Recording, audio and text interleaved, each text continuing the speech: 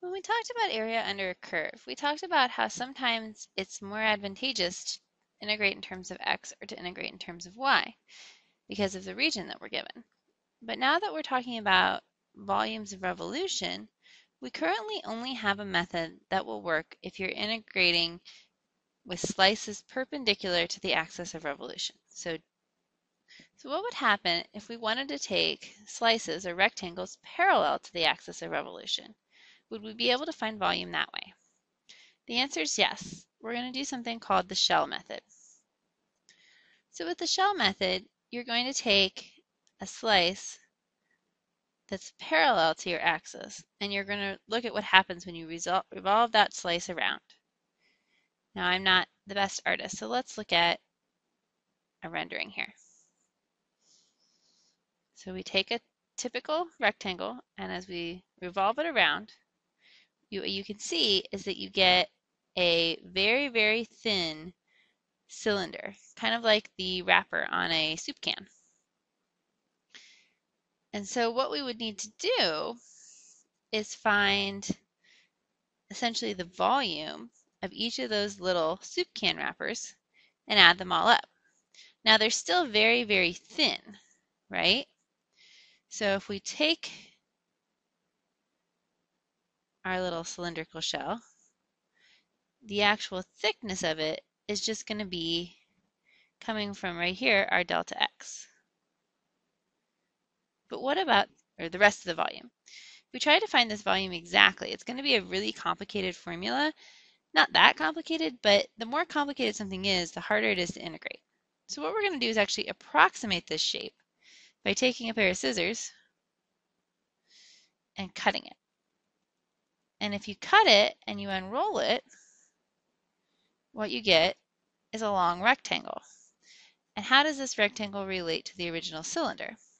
Well, the height is still the height. So there's height, there's height. So back on our original graph, it's this height right here.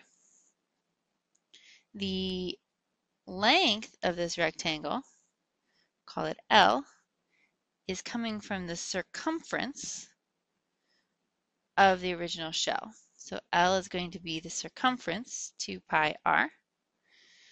And then the thickness here, if you imagine it still had a little bit of thickness to it, that would just be your delta x.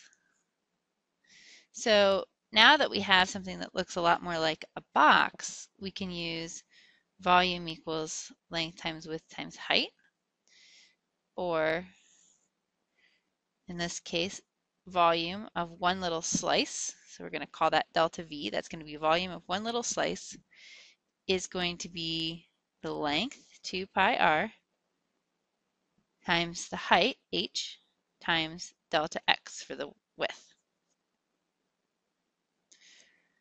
Okay, so let's look at how that plays out. What if we had y equals x squared. And we wanted to revolve that region from, let's say, from 1 to 4 below the line y equals 16. So that would be this region right here. Let's say we wanted to revolve that around the y-axis. And let's use the shell method. So we can draw in a typical shell here. There's our slice that's parallel to the axis, and this is what happens when we rotate it around.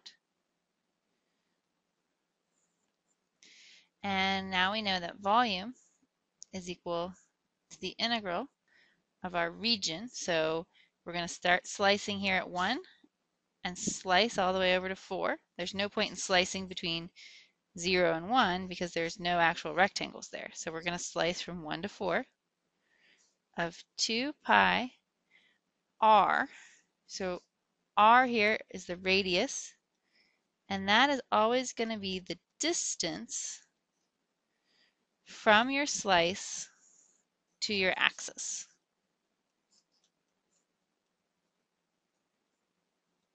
So let's see what that looks like. Our slice is here at the point x. Now it's a little bit weird, but remember when we were doing Riemann sums, this was x of k star. And then when it turned into integrals, the x of k star turned into x. So x is here is telling you where you're making your slice. And our slice here then is at x, and our axis over here is at 0. So in this example, our radius is going to be x minus 0. Your slice is always at either x or y, depending on if you're integrating in terms of x or y. So that's our 2 pi r. Now h is the height of the cylinder, which is the same as the height of the rectangle right here. So we know how to find that. We subtract top minus bottom. So here we would have 16 as our top function minus x squared is our bottom function. So that's 2 pi RH and then dx at the end. And that's how you find volume using shells. Now we can also use shells if we want to go around something like the x-axis if we slice parallel to the x-axis. So if we're doing that, anytime we slice parallel to the x-axis, perpendicular to the y-axis, we're integrating in terms of y. But otherwise, everything is going to be very much the same. We're going to revolve it around. We're going to get a shell. We're going to find that the volume of any one little shell is 2 pi r h delta x. And so when we add all those up, it turns into the integral from c to d this time of 2 pi. Now r is given in terms of y, h is given in terms of y. Oops. This is supposed to be a delta y. That's the whole point. dy. So let's look at another example. If we have x equals 4 minus y squared from 1 to 4. That's this little region right here. And we revolve that around the x-axis. Then we're going to take a slice parallel to the x-axis and revolve it around. And we're going to get that volume is equal to the integral from 1 to 4. So notice again, I don't need to take any slices between 1 and 0 because there's no actual region there. Of 2 pi, the radius here is, well, my slice is at y, and the distance from y down to the axis is at 0. So that would be y minus 0. And then the height of this slice is my rightmost function, 4 minus y squared minus my leftmost function, which is 0, dy. So that's how you do shells in terms of y. So here's a summary.